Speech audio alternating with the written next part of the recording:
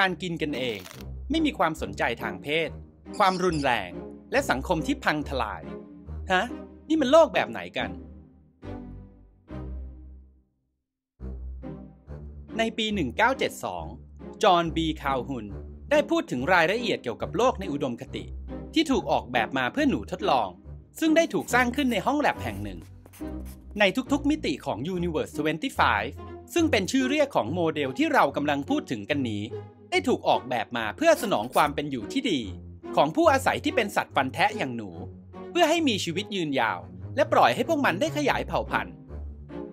พวกมันจะได้อาหารอย่างอุดมสมบูรณ์ น้ำสะอาด และวัสดุทำรัง สถานที่อยู่ก็ยังได้รับการทำความสะอาดอย่างสม่ำเสมอ ไม่มีสัตว์นักล่า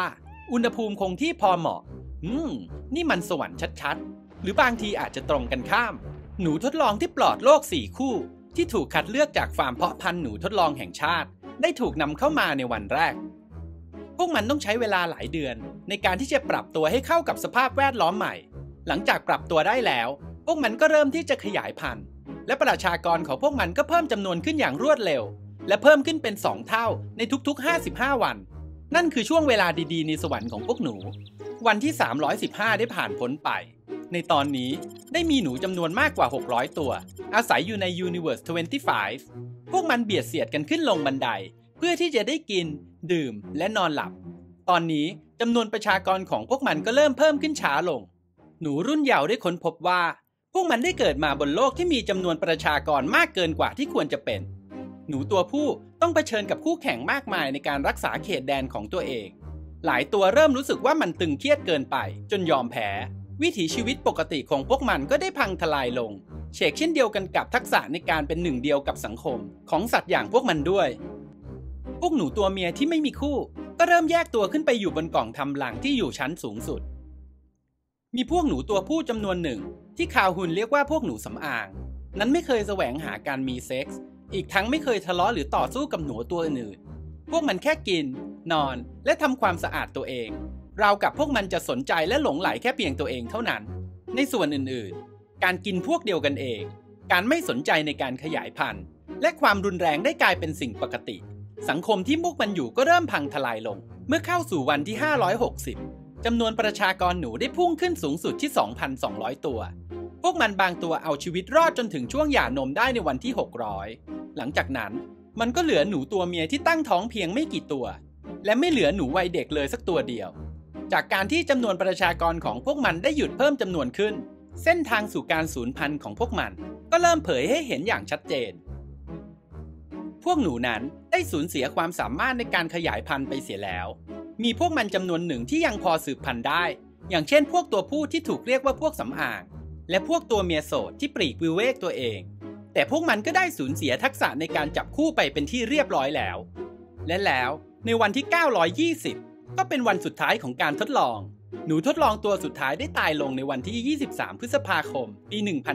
1973 นับเวลาได้ 4 ปีกับอีก 10 เดือนกว่าๆ หลังจากที่อาณาจักรของพวกหนูได้ก่อกำเนิดขึ้น คาวฮุนได้กล่าวในภายหลังว่า การตายของพวกหนูนั้นเกิดขึ้น 2 ครั้ง ครั้งที่ 1 ก็คือ การตายของจิตวิญญาณของพวกมัน และสังคมที่พวกมันอยู่ การตายครั้งที่ 2 นั้น ก็คือการตายของกายเนื้อจริง ๆ นั่นเอง นี่ไม่ใช่ครั้งแรกที่นักชาติพันธุ์วิทยาได้ทำการวิจัยโดยการสร้างโลกจำลองสำหรับหนู คาวฮุนได้เคยสร้างโลกในอุดมคติสำหรับหนูมาแล้ว ตั้งแต่ปี 1940 และได้ผลลัพธ์ในทำนองเดียวกัน นั่นก็คือการมีจำนวนประชากรที่มากเกินไปนั้นนำพาไปสู่การแสดงออกซึ่งความรุนแรง และกิจกรรมทางเพศที่ไม่พึงประสงค์ ได้แก่อาการไม่สนใจเรื่องเพศ การทำร้ายตัวเอง และการสูญพันธุ์ได้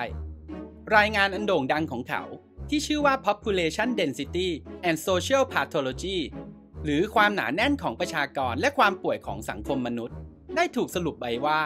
ไม่ว่าพวกเราจะวิวัฒนาการไปสูงส่งแค่ไหนก็ตาม เมื่อถึงตอนที่จำนวนประชากรเพิ่มจำนวนจนเกินกว่าบทบาทและหน้าที่ที่สังคมควรจะมีแล้ว สิ่งที่จะตามมาหลังจากนั้น ก็จะมีเพียงแค่ความรุนแรงและความยุ่งเหยิงและเขาก็ได้อ้างอิงถึงปรากฏการณ์ที่เรียกว่า behavioral sink หรือความถดถอยเชิงพฤติกรรมนั่นเอง ความถดถอยเชิงพฤติกรรม ก็คือความปรารถนาที่จะมีตัวตนในชีวิตของคนอื่นๆ อยากที่จะถูกกำหนดให้อยู่ใกล้ชิดกับผู้อื่น รวมถึงการเป็นส่วนหนึ่งกับคนในสังคม ถึงแม้ว่ามันจะสามารถสร้างความขัดแย้งได้มากเพียงใดก็ตาม จากงานวิจัยอันโด่งดังของคาวฮุนนี้ นักสังคมวิทยาได้เริ่มออกมารณรงค์ให้มีการควบคุมจำนวนประชากร ซึ่งมันอาจจะเป็นวิธีเดียวที่จะหยุดยั้งการเพิ่มจำนวนของพวกเราได้ ส่วนคาวฮุนเองนั้น กลับมองโลกในแง่ดีเกี่ยวกับอนาคตของพวกเรามากกว่า เขาได้กล่าวว่า เมื่อพื้นที่ทางกายภาพของพวกเรานั้นมีน้อยลง พวกเราก็จะถูกบังคับให้เพิ่มพื้นที่ในเชิงความคิดมากยิ่งขึ้น ไม่ว่าจะเป็นเครือข่ายความรู้หรือเทคโนโลยีต่างๆ ในบ้านปลายอาชีพ เขาก็ได้หันหน้าเข้าหาการแก้ปัญหาที่เป็นไปได้ และได้เริ่มสร้างจักกรวาลแห่งความสร้างสรรค์แห่งใหม่ซึ่งมันจะช่วยลดความเสียหาย อันเกิดจากจำนวนประชากรที่มากจนเกินไป คุณล่ะครับคิดเห็นยังไง คุณคิดว่าจำนวนประชากรที่มากเกินไป นั้นจะเป็นอันตรายกับมนุษยชาติหรือเปล่า หรือมันแค่ส่งผลต่อพวกหนูทดลองเท่านั้น และถ้ามันเป็นเช่นนั้นแล้ว จะมีอะไรที่พอจะช่วยเยียวยาจิตใจของพวกเราได้บ้าง อย่างการหลีกเลี่ยงการสบตากับคนอื่นๆ ในที่ที่มีคนหนาแน่น ก็เป็นอีกวิธีหนึ่ง แต่แค่นี้มันจะเพียงพอหรือเปล่า เพื่อที่จะศึกษาเรื่องนี้ให้มากขึ้นเกี่ยวกับ Universe 25 และผลกระทบที่มีต่อสังคมของมัน ลองอ่านงานของเอ็ดมันด์ แรมส์เดนและจอนอดัมส์ในลิงก์ด้านล่างได้เลยนะครับ